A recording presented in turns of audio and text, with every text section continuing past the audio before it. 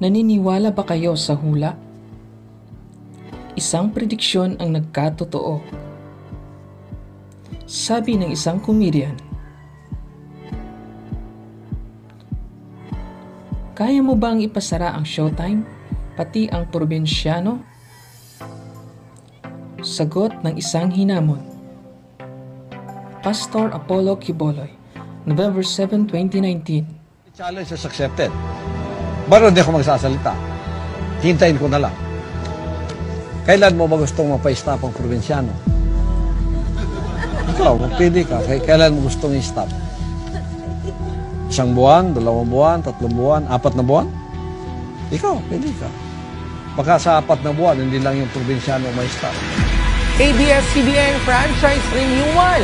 Maaprubahan pa nga ba? Tapos na kasi ang license to broadcast ng network 9 months from now o sa darating na March 20, 2020. At hindi na dapat na maiparenew pa ang franchise ng ABS-CBN. I will file a complaint.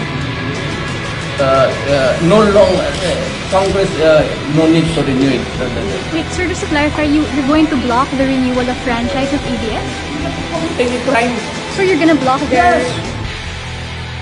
Baka sa apat na buwan, hindi lang yung probinsyano may stop. Baka pati yung network mo, stop na yan. Nagkataon lang ba talaga?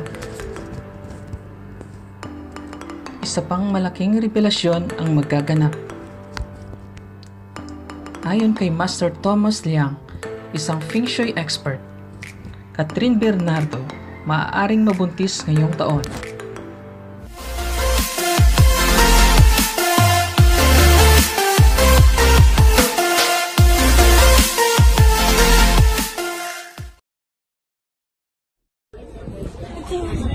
I got. Hi, Tita. Hi, Tita. Picture lang.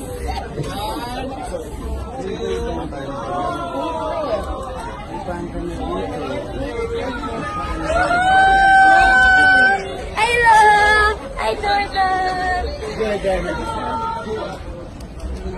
Oh, you joking. Yeah. Cassie, you have.